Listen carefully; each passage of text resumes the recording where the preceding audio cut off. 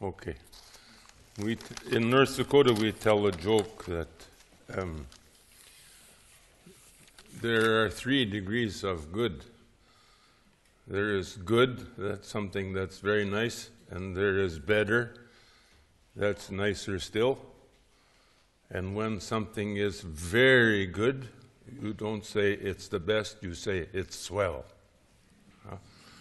So we say, I would say, um, going to Norway is better, but being invited to Norway is swell. That's as good as it gets.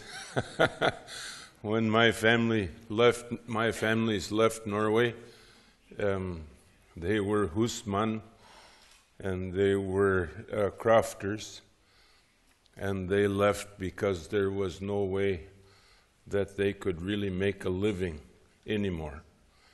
Um, many of them were in a position not to inherit, and so they had to go looking for land and opportunities. And here was a great wide state called North Dakota where all the mountains had been removed.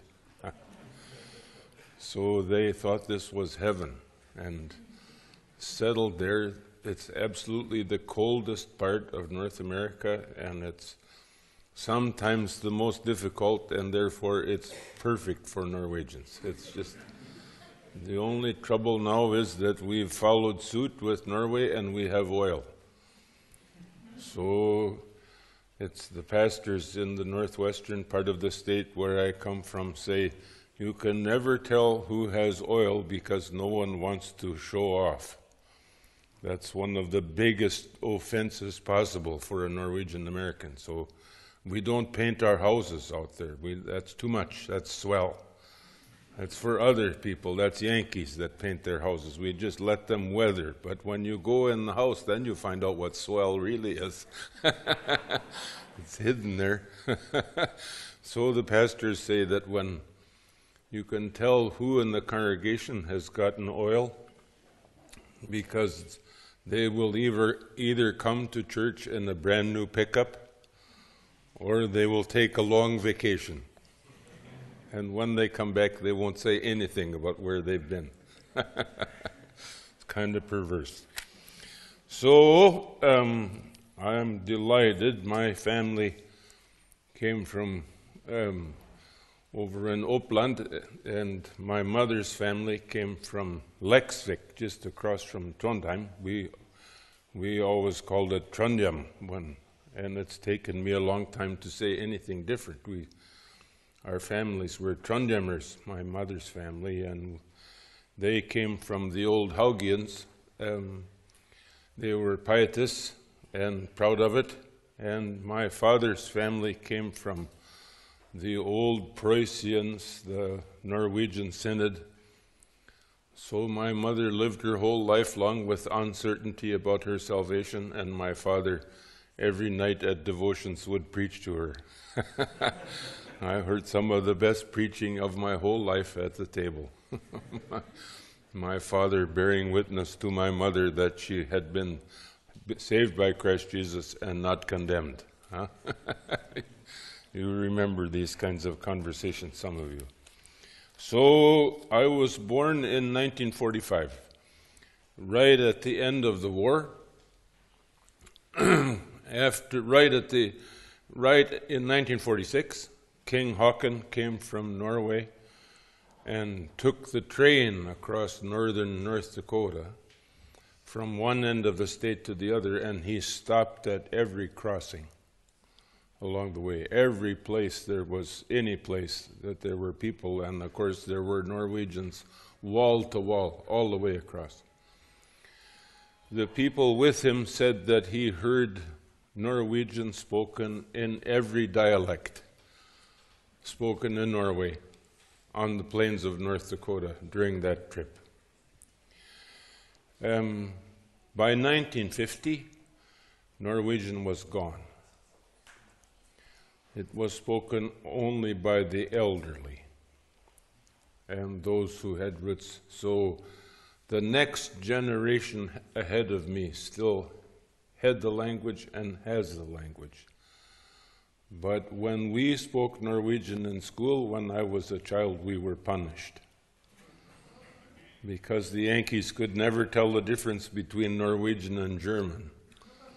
And they were sure, even though we came with lefse in our pockets, that we were German spies.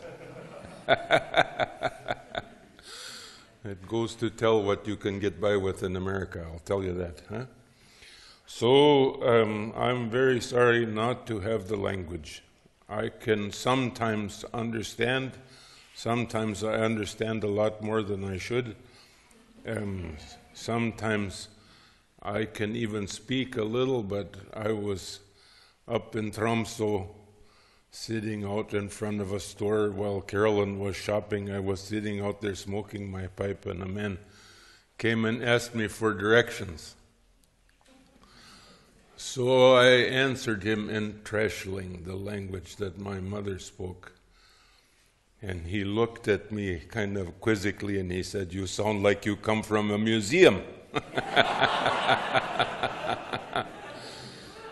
so I don't speak it anymore. I sometimes my mother is dead and my grandmother is dead, and I have one old auntie, 95, so deaf that she can't hear a thing.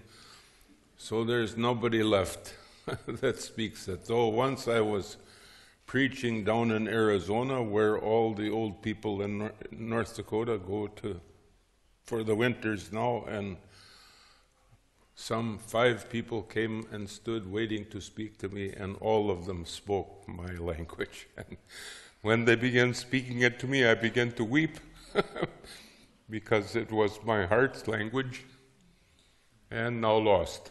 So I'm very sorry not to have it.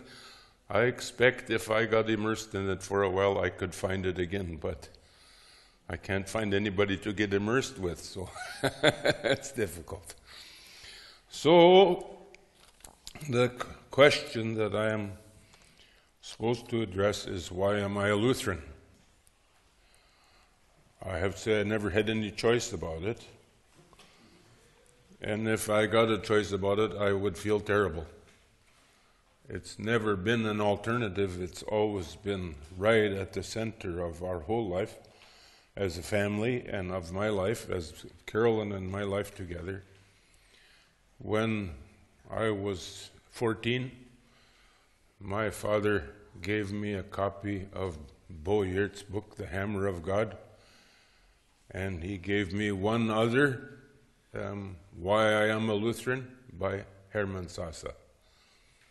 And I have read and reread these books all of my life, and they have been lodestars for me.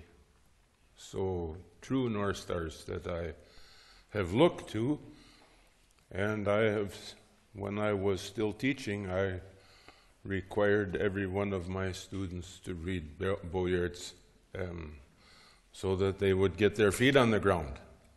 I think you can get some of the best answers to these questions from such writers. But when I went to seminary as a young man, um, I started reading Luther, and that has been my profession all of my life. I am a Luther scholar, and so I read Luther all of the time. Uh, my grandmother thought this was a fault. She said he's ragging on Luther all of his life. He should read more of the Bible and less Luther. of course, I had to read as much of both, so um, she was just checking on me. Even though I was old enough to know better, she was never convinced of that. so, so I'm going to answer the question with the, an argument that I learned from Luther early on. I'm going to address the question with um, quotations from Luther's Freedom of the Christian. There he writes A Christian is the perfectly free Lord of all, subject to none at the same time, the Christian is the perfectly dutiful servant of all, subject to all. So we'll look at these two statements and hope that together they add up to a persuasive reason. Hmm? Sometimes I think the question, why am I a Lutheran, is, should be stated, why am I still a Lutheran? After all the trouble the Lutherans have been through. But again, um, these are not alternatives. The word freedom is a very interesting word. It is particularly important to Americans, of course, but it was even more important to Luther. His name in German was Luder, L U T T E R or L U D D E R. Um, he pronounced it L U T H E R or Luther, punning on the word for freedom in Greek, Eleutherius. His whole witness is concerned with freedom, the bondage of the will and the freedom of the gospel. So, this is a very important word in our vocabulary as Lutherans, one we use over and over again. My grandfather on my mother's side um, was born in Leksvik and immigrated with his father to Norway when he was a young man. His father's name was Axel Vinge, we pronounced it over there. V I N G E, or Vinga, I suppose you'd say, huh? He was, um, they were musicians, um, both of them. They, they both had perfect pitch. and the choir the, in the little church that they belonged to sang behind them. Um, they walked all the way across North Dakota to find the most God-forsaken land in southern Saskatchewan, and there they homesteaded. And that little town became a Haugian town until quite recently. Now there's no, hardly anybody left, and not even the Haugians want to stay there anymore. So, so it's it's the church is just hanging on by on the edge. Grandpa used to say that if you want to frustrate an, Ameri- frustrate an American, he was a loyal Canadian and always suspicious of Yankees. He said, if you want to frustrate an American, always ask him what he's free for. What is freedom for? Grandpa said he'll always say freedom to set someone else free. Well, what are you setting them free for? And then he'll just look at you quizzically and not be able to understand the question. Freedom is a strange word and it's gotten a strange definition in our public life. Nowadays, when you hear the word freedom spoken in the US and even now in Canada, and I think probably here too, you hear freedom as detachment. Freedom is being able to detach yourself from obligations and people who bring obligations and people who cause expectations. So, freedom, Janis Joplin's definition, freedom's just another word for nothing left to lose. Hmm? Freedom is being able to move away from. The real question is what can you move to? It's my grandpa's question. What how do you attach? The Lutheran understanding of freedom begins with attachment. Christ Jesus has attached himself to you. He has taken hold of you. He took hold of you in your baptism. He took hold of you at the table here with these words This is my body given for you. He has attached himself to you. And because he has attached himself to you through the preaching of the word and the administration of the sacraments, because he's taken you unto himself, hmm? do you remember the words of the small catechism? All this Jesus has done that I may be his own. Live under him and serve him. Huh? You see, we're attached to him. He is attached to us. And because we're attached, freedom huh, takes the form of belonging to Him. Hmm?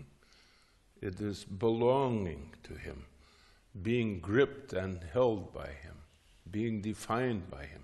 Hmm? And so when we talk about being attached to Christ Jesus, right away we begin speaking of a specific set of gifts that He has given you. He has forgiven your sins. He has delivered you from other powers that try to define you. He has promised to raise you from the dead. He has freed you from the power of sin.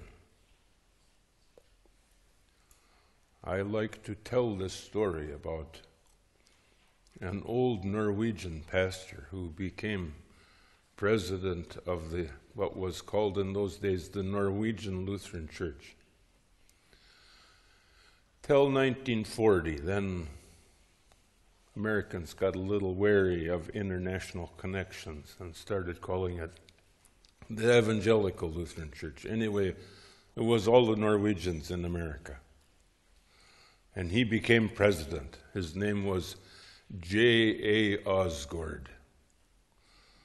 You know, we have preserved some things in America among the Norwegians, and we, we're particularly proud of people who can get four A's into their name.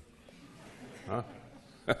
this is a Norwegian habit, you know, of stealing all the nouns and putting them all into one name. Huh?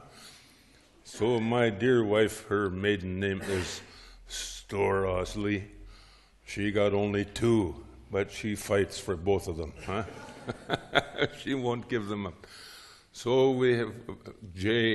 A. Aasgaard, A. A. S. G. A. A. R. D. He was a great pastor and a stern old man, tough. This was in 1925 when Eau Claire was a logging town full of Norwegians who cut timber all week and came into town and drank all weekend and went back to the woods again. he was a strong man and he had to be. So the um, when he was pastor, a woman came to him, young woman, he had performed her wedding some weeks earlier, months maybe. she said, Pastor, I have to talk to you. He could see from her distress that there was something profoundly troubling her. so he said, You know, in the hymnary, the Norwegian American hymnal, there's a service for somebody like you. It's the service of private confession. So she knelt beside his desk, and he knelt beside her. and this is what she said. She had been a nurse at the hospital. One of the doctors had taken interest in her and she had had sexual relations with him. She became pregnant. She went to the doctor about her pregnancy, and he arranged for her to have an abortion in the um, operating room at night. So the baby was aborted the pregnancy ended. The relationship ended, of course, that's generally what happens. and when the relationship ended, she was left alone. A young man in the congregation took an interest in her. He began pursuing her. When he called her, she said she thought she ought to tell him about herself, but she didn't feel like she could. And so the courtship went along, and it was getting more serious, and she thought she should tell him, but she couldn't. he proposed to her, and she thought she should tell him, but she couldn't. They were married. She thought she should tell him, but she couldn't. And now she said, Every time he touches me, all I can think about is how I've betrayed him. She said, I, I'm, I want to die. Dr. Aasgaard stood up, put his hand on her head, and he said, In the name of Jesus Christ, I forgive you all of your sin. And he made the sign of the cross on her forehead. She stood up. She said, Now I suppose I should tell my husband this story. Pastor Aasgaard said, What story? What story? That's the forgiveness of sins. That's why it's so desperately important. That's why Christ died to forgive sinners. And that's why the word of forgiveness is the most important word that we have. She went back to her husband rejoicing. The marriage was long and fruitful because Christ Jesus carried her sins. She no longer had to. Hmm? The word of forgiveness is deliverance from something that has grasped us inappropriately, captured us. I'll tell you one other story. I'm from the Vietnam War people. I was one of the people that was of age during the Vietnam War and lived through that whole controversy in the U.S. So I have many friends who are Vietnam vets. They're interesting people. I was sitting on an airplane one day, which I've done too much of over the years, and I was sitting next to a man as big as I am, and we filled up the two seats to overflowing. We, the poor man sitting in the third seat was squirming, and, and we. Um, we were sitting visiting, and the guy said to me, What do you do? I said, I'm a pastor. He said, You are? Do you mind if I talk? If we talk, I said, No, I don't. I, I used to wear my clerics every Sunday morning. I always wear my clerics when I have to preach, but when I would, I would always very carefully change clothes after church because I didn't want to run a confessional in the airplane seat. That was, you know, I would work all morning and be go, going home to work all week, and I thought I could have the afternoon off, and so I would hide my collar. but he knew I was a pastor somehow. So we started talking, and he he started telling, rehearsing memories from during the war. It got worse. And it got worse. And pretty soon he was weeping, telling me these stories. Finally, I said to him, Have you confessed the sins that are most troublesome to you? He said, I didn't know I was confessing. I said, You've been confessing ever since the plane took off. And when I hear somebody confessing, I am under obligation to the Lord Jesus to say this. the plane was landing, and I stood up in my seat, and the flight attendants, I put my hand on his head. I said, In the name of Jesus Christ, I forgive you your sins. He said, You've got to be kidding. That's the best thing I ever heard in my life. And then he began to weep. Here, two big bellied men, barrel chested, stood holding one another while the plane was landing, weeping for joy. That's the forgiveness of sins. He came to see me every day in my office for eight days running. And he would come into my office and would say, Is it still the same message? And I would say, Christ Jesus told me to tell you that again. And I would put my hand on his head and absolve him. That's the forgiveness of sins. What does it do?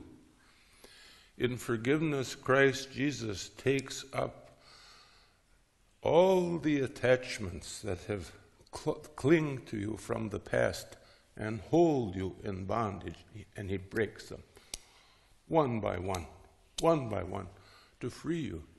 Hmm? To free you. At the same time, he takes on the powers that would define you. Lots of people don't like to talk about the devil anymore. They think it's kind of an embarrassment, you know. Huh?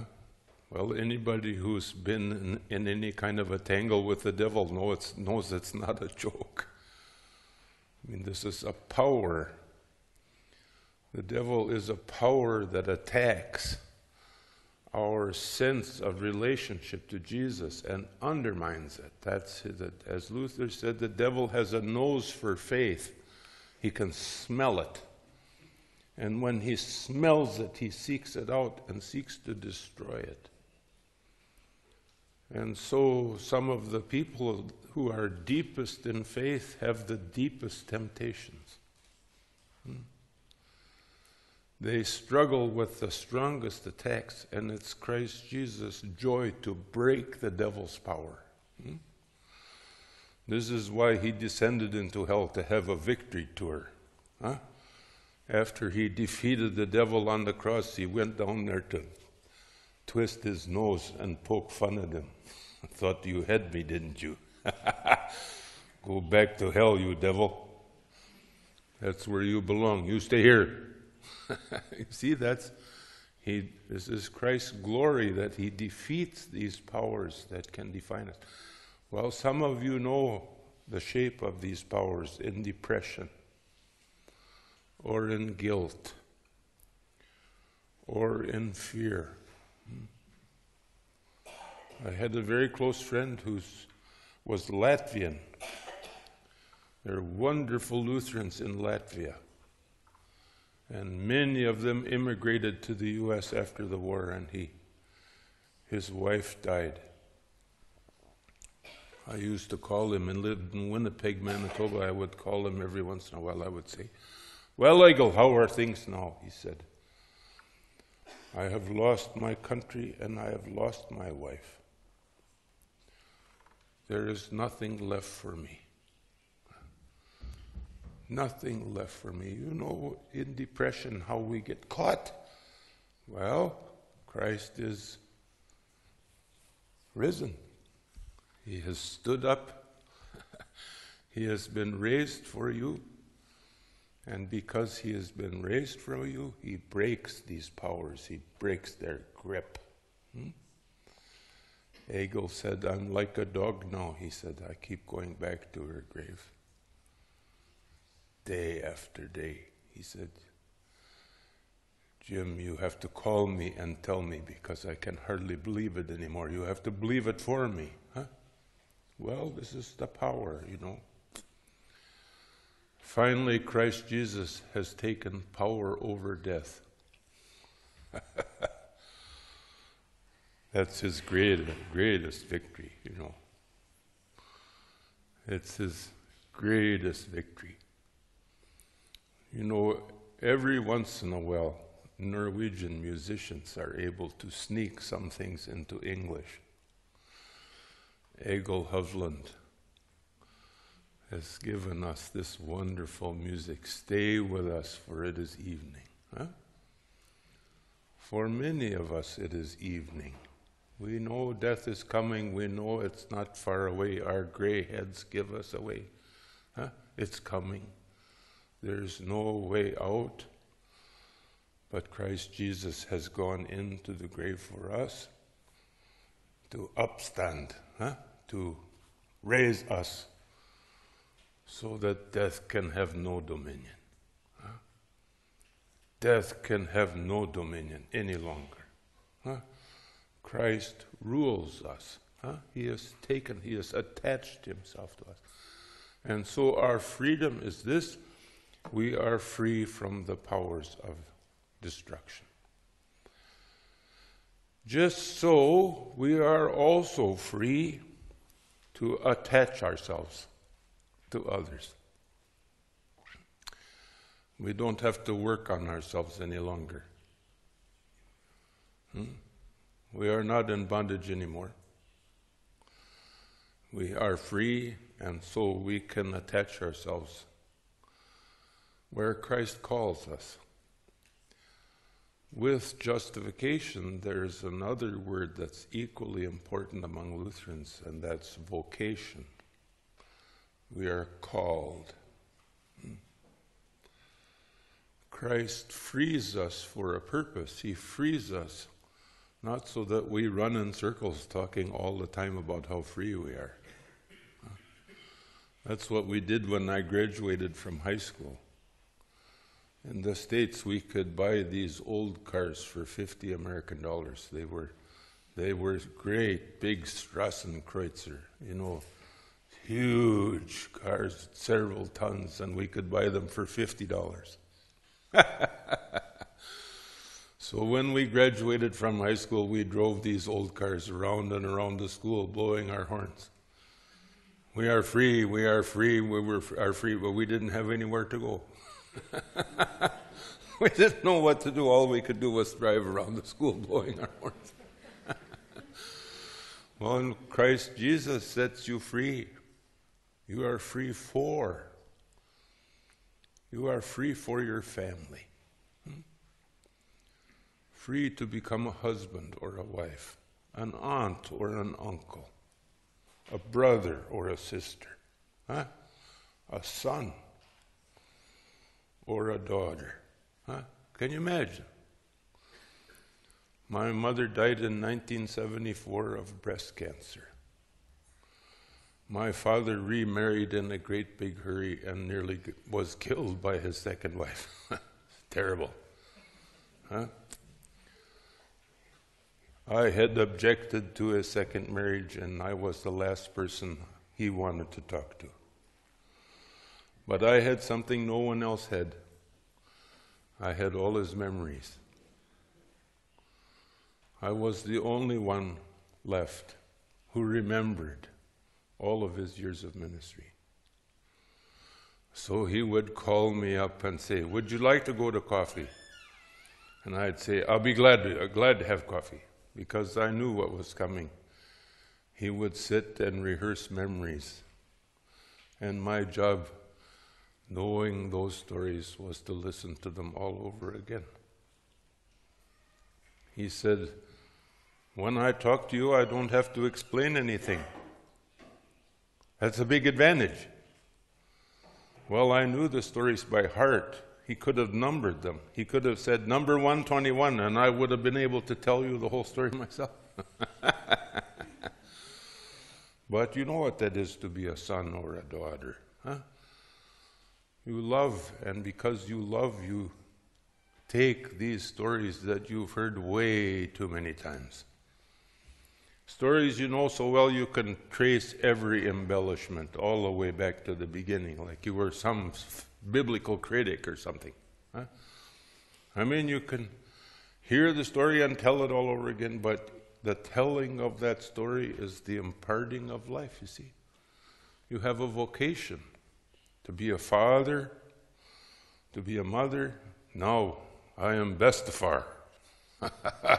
and I tell the stories and I embellish them joyfully so that my grandchildren listen to my stories and laugh with joy. Huh? This is a vocation, a calling. We're attached. You have a, we have vocation as husband and wife. Huh? 46 years we have been in the same bed and we haven't murdered one another. Huh? Huh? We're rejoicing in 46 years and we're counting on getting some more. I mean, I don't want her to get away. Huh? This is a vocation, a calling. You have a vocation in your work. Hmm? You do something so very well with your hands and with your head hmm? that your neighbor depends on you for those things. Huh? And so you have a calling from God to attach yourself through your hands to your, na- to your neighbors. You have a vocation in the church, you have a vocation as a citizen of Norway huh? to participate in Norwegian public life and contribute to it. Huh? I mean, you've been called to this. God has, God has seen that you're useful. He's making you useful. So He's detached you from the powers that would destroy you. He's attached Himself to you so that you can attach yourself to your neighbors and be salty and be full of light huh? and be yeasty, huh? full of leaven. Huh? Huh? What's better than that? Huh? So when my grandkids come to the house, when Carolyn went to law school, she taught me to bake. I said, I'm not going to eat store bought bread for anything. You're going to have to make arrangements. So she taught me to bake. I was the solution to my problem. I had better ideas than that, but now I love to bake. And when my grandchildren come, I make big cinnamon rolls mm-hmm, that are full of butter and just oozing calories. I put way too much sugar in them and I put maple syrup on the bottom of them. And when the kids eat them, they get feisty and wild. And they their parents say, Don't give them so much sugar. I said, My, my grandkids, I'm going to give them all the sugar. huh? This is a vocation, huh? a calling huh? to spoil your grandchildren. I love it. This is a gift of God. So we have detachments because of an attachment to Christ Jesus. And our attachment to Christ Jesus frees us to attach ourselves in our families, in, con- in our congregations, at work, in our public life. These are the joys, huh? So that's why I'm a Lutheran.